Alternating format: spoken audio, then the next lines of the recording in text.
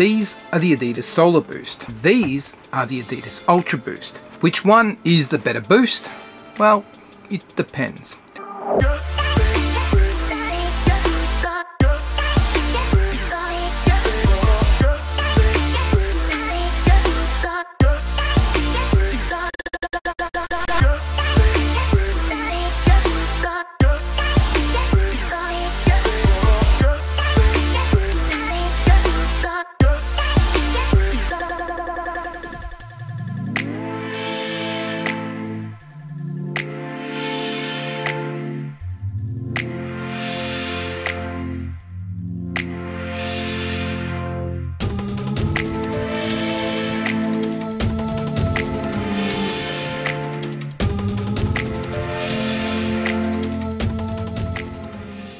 Let's get into it. Now, just so I am clear, the shoe I'm going to be talking about today is the Solar Boost, but it's the Solar Boost 3 and not the Solar Boost 4. Although there really doesn't seem to be much of a difference between the Solar Boost 3 and 4, apart from some changes to the upper. And not in the same way that the Peg 38 changed its upper from the 37. This is even more minor. When I look at the pictures side by side, apart from a few different placements of the overlays on the upper, it looks near identical but the Adidas website does say that the Solar Boost now is made with 50% recycled materials.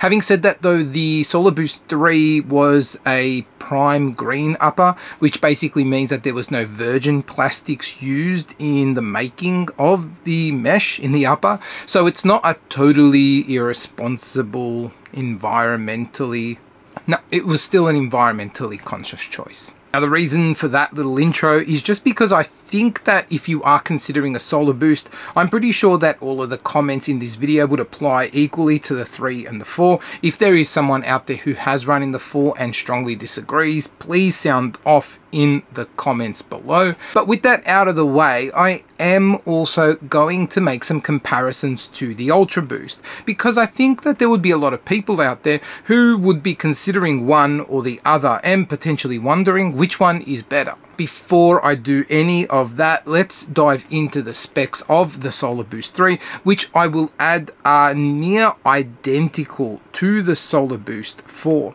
save for the upper being made of those 50% recycled materials. And what we've got is a neutral road running shoe, although there are control rails in the Solar Boost 3 that offer stability. There is an engineered mesh upper sitting on top of a full boost midsole. We've got 32 mil stack in the heel, 22 mil in the forefoot, giving us a 10 mil drop, 305 grams or 10.8 ounces for a US men's size 9. And if you're interested, my US men's 13 clocks in at 13 and a half ounces or 386 grams. While we're talking about specs, it's worthwhile drawing a comparison to the Ultra Boost. I'll use the 21 as the reference point, only because I have used that one the most and I don't own a pair of the 22s yet. And as far as weight goes, they're very similar. The US men's size 9 clocks in at 310 grams, which is 5 grams more than the Solar Boost. But interestingly, I did put my pair on the scales because when I picked them up, they do feel quite different and the Ultra Boost feels a lot more heavier. It came in at a whopping 439 grams or 15 and a half ounces. Ouch probably explains why I didn't really enjoy running in it. More on that in a sec. They have the same drop at 10 mils, although the stacks are different. The Ultra Boost is actually lower, but you wouldn't probably think that looking at the shoes side by side. And the uppers are different as well. And this is where I think the biggest point of difference is between the Solar Boost and the Ultra Boost series. The Ultra Boost series has always used a booty type construction and I'm not the biggest fan of a booty construction, so I guess my comments here are going to be a personal preference. But what I find when you're using a shoe for performance needs, that that booty style construction doesn't give you the control that you want over fit. And so that can impact comfort over the long run. I don't mind using the Ultra Boost for the short run or to kick about the gym and then maybe do a few Ks on the treadmill after. But if I'm looking for a dedicated running shoe to take out with me, it's not my first choice. As I've said a couple of times on the channel though, that doesn't mean I don't like the Ultra Boost 21 or any of the other Ultra Boosts. In fact, I love them. I own a heap of them. I think that they're excellent shoes. Just not my favorite shoes to run in. I much, much prefer the Solar Boost 3. And from what I can tell, the Solar Boost 4 is identical. You get a really breathable upper that is really well padded around the heel. That padding also extends to this gusseted tongue and that gusseted tongue really gives you the best of both worlds. You are sort of attached to the upper of the shoe and that means your tongue isn't flipping about but you're able to get the lockdown that you want and it feels really comfortable around that area. I've been running in some pretty hot conditions here in Melbourne and I've found that a shoe with this much mesh up top it actually breathes quite well and it's been really comfortable on those runs. What you also get on the Solar Boost, like I mentioned in the specs, are these control rails along the side of the shoe. There used to be the Solar Boost ST that was sold in line with the Solar Boost. The last pair of Solar Boosts I owned were the 19s and I really like those. I don't think they sell the ST anymore and that ST model was the specific stability offering.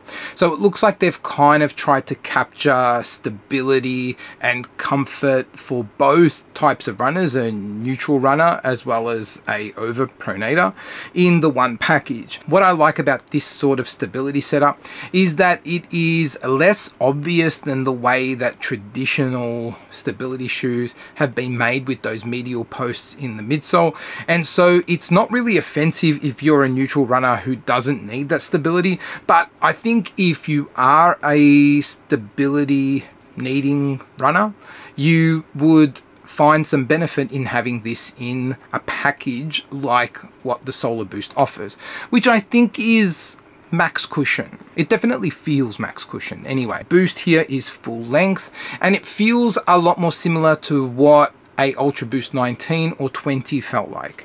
It's soft, but it's not unstable, so you don't feel like it's so squishy that you're gonna fall off, uh, but it is also responsive. So it does allow you to get on your toes and pick up the speed a little bit. It's really comfortable, at least for my runs. I've got no complaints with it. I'm a fan of Boost, so I wouldn't have expected to not like it. But it is not like the Ultra Boost 21. The Ultra Boost 21, if you need that reference point, was a little bit more firmer than those of us who have used Ultra Boost shoes in the past would have expected.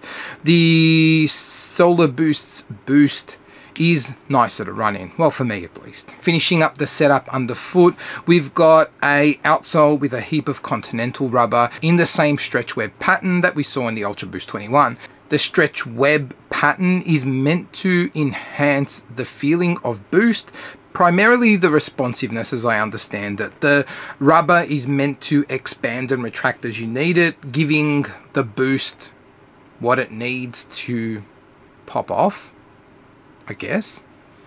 I can't say I find it any more responsive than what the Solar Boost 19 was or the Ultra Boost 19 or 20, but it's just me. The Solar Boost 3 also carries the same LEP torsion system that we saw first introduced on the Solar Boost 21. You can see it here on this shoe. It's that panel that is like this orangey, pinky type of maybe coral color. And if you hear it, it's a hard piece of TPU plastic, primarily located around the midfoot, but you can see it kind of stretches into parts of the forefoot and back end of the shoe.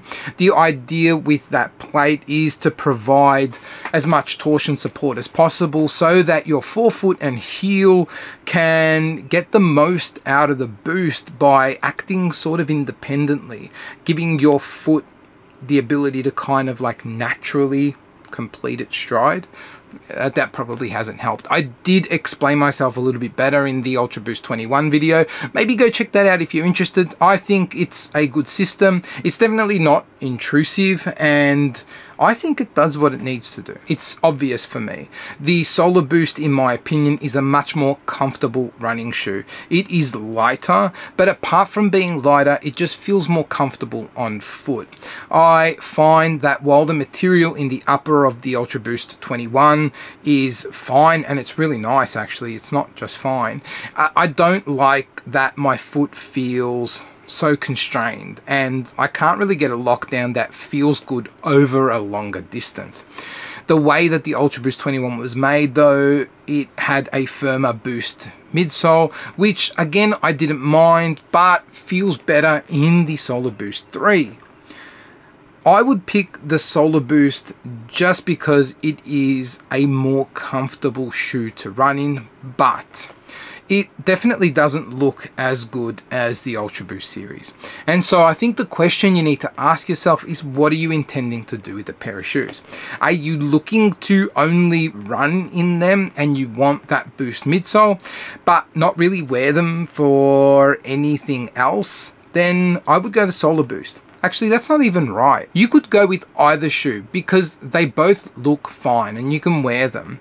I think it's going to be about which one is the more fashionable shoe of the two and in my opinion it is the Ultra Boost 21. I think that looks legitimately awesome in a casual lifestyle scenario just as much as it looks wicked in the gym. The Solar Boost, in my opinion, is a little bit more daggy if you wanted to use it for lifestyle or casual sort of use. But it doesn't mean it's a bad choice. I'm beating around the bush a bit. It is a bit more daggy. The decision's up to you. Running, Solar Boost. A bit of everything, Ultra Boost. That's my opinion. I'm interested in yours. Let me know what you think in the comments below. And until the next video, laters.